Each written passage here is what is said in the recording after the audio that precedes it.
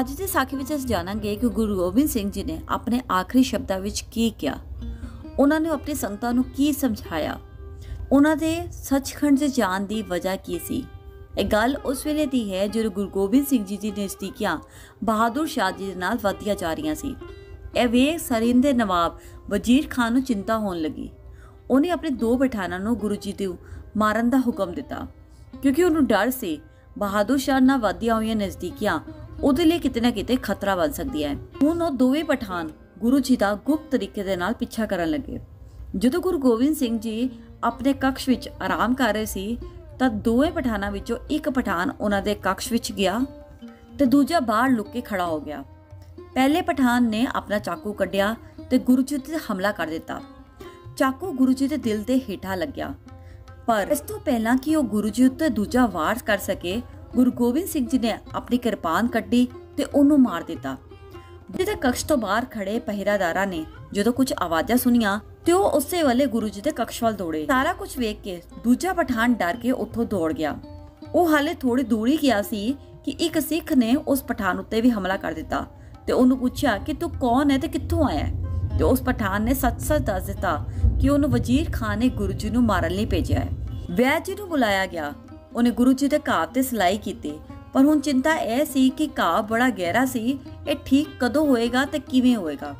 ਉਧਰ ਪੰਜਾਬ ਵਿੱਚ ਸੰਗਤਾਂ ਗੁਰੂ ਜੀ ਦਾ ਇੰਤਜ਼ਾਰ ਕਰ ਰਹੀਆਂ ਸੀ। ਪਰ ਗੁਰੂ ਜੀ ਦਾ ਘਾਵ ਬੜਾ ਗਹਿਰਾ ਸੀ। ਆਪ ਜੀ ਘੋੜੇ ਤੇ ਸਵਾਰੀ ਕਰਨ ਦੇ ਹਾਲਤ ਵਿੱਚ ਨਹੀਂ ਸੀ। ਹੁਣ ਗੁਰੂ ਸਾਹਿਬ ਜੀ ਨੇ ਪੰਜਾਬ ਜਾਣ ਲਈ ਇੱਕ ਜੱਥਾ ਤਿਆਰ ਕੀਤਾ। ਗੁਰੂ ਜੀ ਨੇ ਕਿਹਾ, ਪੰਜਾਬ ਜਾਣ ਵਾਲੇ ਜੱਥੇ ਦੀ ਅਗਵਾਈ ਜਿਹੜੀ ਹੈ ਬੰਦਾ ਸਿੰਘ ਬਹਾਦਰ ਜੀ ਕਰਨਗੇ। ਗੁਰੂ ਜੀ ਨੇ ਬੰਦਾ ਸਿੰਘ ਬਹਾਦਰ ਜੀ ਨੂੰ ਆਪਣੀ ਕੁਝ ਸਗਾਤਾਂ ਭੇਟ ਕੀਤੀਆਂ, ਜਿਵੇਂ ਪੰਜ ਤੀਰ, ਨਗਾੜਾ ਤੇ ਕੇਸਰੀ ਨਿਸ਼ਾਨ, ਜੋ ਕਿ ਖਾਲਸਾ ਦੀ ਪਹਿਚਾਨ ਹੈ। ਹੁਣ ਗੁਰੂ ਜੀ ਨੇ ਪੰਜ ਪਿਆਰਿਆਂ ਨੂੰ ਖੜਾ ਕੀਤਾ ਤੇ ਬੰਦਾ ਸਿੰਘ ਜੀ ਨੂੰ ਕਿਹਾ, ਇਹ ਪੰਜ ਪਿਆਰੇ ਹਮੇਸ਼ਾ ਤੁਹਾਡੇ ਨਾਲ ਰਹਿਣਗੇ।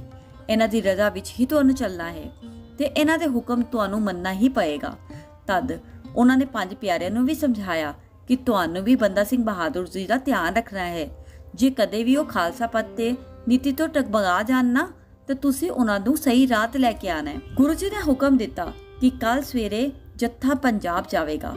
ਪਰ ਅਗਲੇ ਦਿਨ ਸਵੇਰੇ ਜਦੋਂ ਜੱਥਾ ਤਿਆਰ ਸੀ, ਗੁਰੂ ਜੀ ਦੇ ਜ਼ਖਮ ਨੂੰ ਵੇਖਣ ਲਈ ਵੈਦ ਆਇਆ ਤੇ ਵੈਦ ਨੇ ਦੱਸਿਆ ਕਿ ਗੁਰੂ ਜੀ ਦੇ ਸਰੀਰ ਦਾ ਜ਼ਹਿਰ ਤੇ ਫੈਲਦਾ ਹੀ ਜਾ ਰਿਹਾ ਹੈ। ਇੰਨਾ ਸੁਣਦੇ ਹੀ ਸਾਰੇ ਘਬਰਾ ਗਏ। ਗੁਰੂ ਜੀ ਨੇ ਉਹਨਾਂ ਸਾਰਿਆਂ ਨੂੰ ਬੁਲਾਇਆ ਤੇ ਕਿਹਾ, ਚਿੰਤਾ ਨਾ ਕਰੋ, ਉਸ ਅਕਾਲ ਪੁਰਖ ਦੀ ਰਜ਼ਾ ਵਿੱਚ ਰਹਿਣ ਵਿੱਚ ਹੀ ਸਭ ਦੀ ਭਲਾਈ ਹੈ। ਗੁਰੂ ਜੀ ਨੇ ਭਾਈ ਦਇਆ ਸਿੰਘ ਜੀ ਨੂੰ ਕਿਹਾ ਕਿ ਤੁਸੀਂ ਗੁਰੂ ਗ੍ਰੰਥ ਸਾਹਿਬ ਜੀ ਦਾ ਪ੍ਰਕਾਸ਼ ਕਰੋ, ਮੈਂ ਇੱਕ ਰਸਮ ਕਰਨੀ ਹੈ। ਗੁਰੂ ਸਾਹਿਬ ਜੀ ਨੇ ਕਿਹਾ, ਮੈਂ ਫੈਸਲਾ ਤਾਂ ਵੈਸੇ ਵਿਸਾਖੀ ਵਾਲੇ ਦਿਨ ਹੀ ਕਰ ਲਿਆ ਸੀ, ਜਦੋਂ ਮੈਂ ਪੰਜ ਪਿਆਰਿਆਂ ਨੂੰ ਅੰਮ੍ਰਿਤ ਛਕਾਇਆ ਸੀ।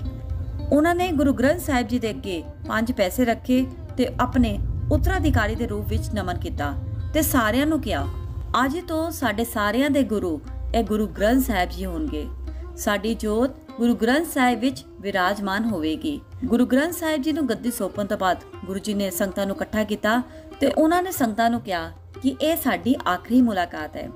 ਜਿਹਨੂੰ ਸੁਣ ਕੇ ਸੰਗਤਾਂ ਰੋਣ ਲੱਗੀਆਂ ਤਦ ਗੁਰੂ ਜੀ ਨੇ ਉਹਨਾਂ ਨੂੰ ਸਮਝਾਇਆ, ਜਿਸ ਤਰ੍ਹਾਂ ਨਿਰੰਕਾਰ ਤੇ ਦਿੱਤੇ ਹੋਏ ਸਾਹ ਪੂਰੇ ਹੁੰਦੇ ਐ, ਤਾਂ ਮੌਤ ਇਨਸਾਨ ਨੂੰ ਅਗਲੇ ਸਫ਼ਰ ਦਾ ਮੁਸਾਫਰ ਬਣਾ ਦਿੰਦਾ ਹੈ। ਪਰ ਰੱਬ ਨੂੰ ਪਿਆਰ ਕਰਨ ਵਾਲੇ ਜਨਮ ਮਰਨ ਦੇ ਚੱਕਰਾਂ ਵਿੱਚ ਨਹੀਂ ਫਾਸੇ ਤੇ ਨਾ ਹੀ ਪਹਿਲੀਆਂ ਪਾਤਸ਼ਾਹੀਆਂ ਤੁਹਾਨੂੰ ਛੱਡ ਕੇ ਗਈਆਂ ਸੀ ਤੇ ਨਾ ਹੀ ਮੈਂ ਤੁਹਾਨੂੰ ਕਿਤੇ ਛੱਡ ਕੇ ਜਾਵਾਂਗਾ। ਪਰ ਇਹ ਪੰਜ ਤੱਤਵਾਂ ਨਾਲ ਬਣਿਆ ਹੋਇਆ ਸਰੀਰ, ਛੱਡ ਕੇ ਅਸੀਂ ਅਕਾਲ ਪੁਰਖ ਵਿੱਚ ਮਿਲ ਜਾਵਾਂਗੇ।